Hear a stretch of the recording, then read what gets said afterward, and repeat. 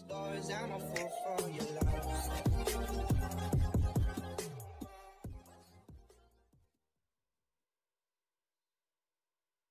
Viral ngayon sa social media mga ka-DJ, si Hamad Zak spotted na naghaharutan.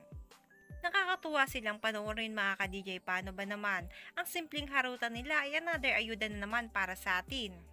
Sa videong ito mga ka-DJ ay mapapanood natin kung gaano sila ka-sweet sa isa't isa habang naghaharutan kaya naman narito ang video panoorin natin.